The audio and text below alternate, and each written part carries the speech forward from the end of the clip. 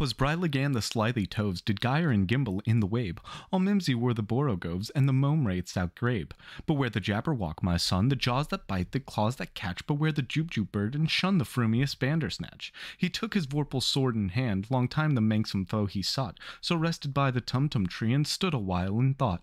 And as in uffish thought he stood, the Jabberwock with eyes of flame came whiffling through the tulgey wood and burbled as it came. One, two, one, two, and through and through the vorpal blade went snicker snack. He left it dead, and with its head he went galumphing back.